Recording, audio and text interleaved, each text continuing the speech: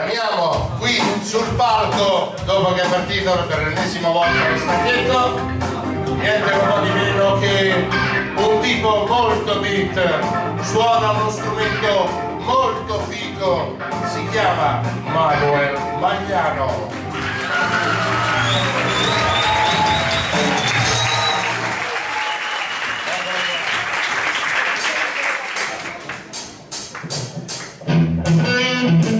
Thank you.